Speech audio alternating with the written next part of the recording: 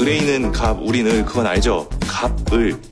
가만 보면 우영우 변호사는 조용히 해결하는 사건이 없는 것 같아. 어.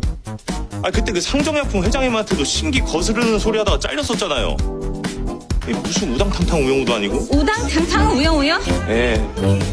이, 이 겉모술수 검민우가? 겉모술수?